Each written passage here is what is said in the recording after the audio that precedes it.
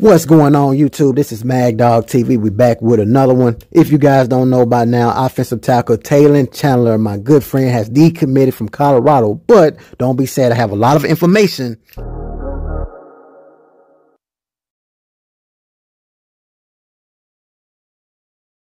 So as I mentioned in the video, offensive tackle Talyn Chandler has decided to decommit from Colorado to go to Missouri. Now, guys, just hold your horses. Don't get sad. Don't get discouraged. We have a lot of good information to talk about in this video, but I want to go ahead and break that news to you guys. And I know for most of you, you already know. Now, Talyn Chandler is definitely a good friend of mine. I will have an upcoming interview with him to see why, what made him cause that decommit. Why did he go to Missouri? Because there's a lot of reasons of why why a player can actually decommit. A lot of you guys always like to jump to conclusions. Oh, because of Colorado losing. Oh, because of the O line. Oh, because of this and that. No, that has nothing to do with any of those things when we talk about the game of football. If I'm an offensive tackle and I see how bad they are at Colorado, I'm going to want to go there because I know I have a very good chance to play. But as I said before, we're going to talk to Talyn Chandler. We're going to see how he feel when we talk about that reason of decommitting and going to Missouri. But I wish him absolutely the best. But but I'm very excited about Amari Ward. 6'5 offensive tackle made his announcement on Twitter. You guys know that's the new trend, that's the new generation.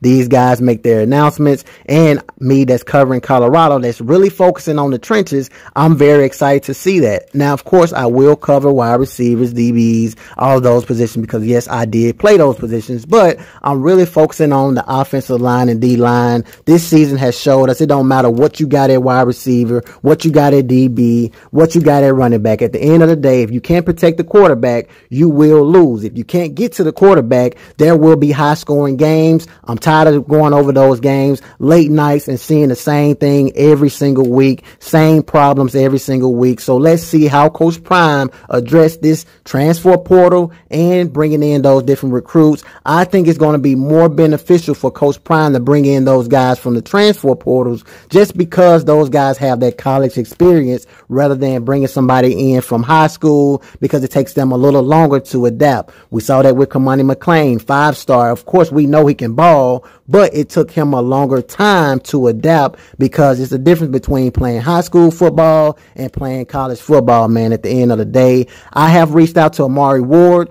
We will see if he wants to come on air and talk about the excitement of Boulder. He did talk about those things earlier in the article where he was very excited, very excited for the football team, very excited to go forward and go on to his career in Boulder, excited about how beautiful it is. Coach Prime actually had that relationship with them and they actually been able to do some of the things as far as showing and seeing the city of Boulder and all those things, man. And him being from the South, I think it would be a great thing for him. So we will see how things plans out. This is just one offensive lineman. We need millions of offensive linemen if we can get them from these transfer portals recruits, regardless. We need every single lineman we can actually get. And every time I see one offensive lineman that's going to Colorado, you better damn well believe I'm going to cover that on this channel. If you guys like the video, definitely like subscribe to the channel. Peace.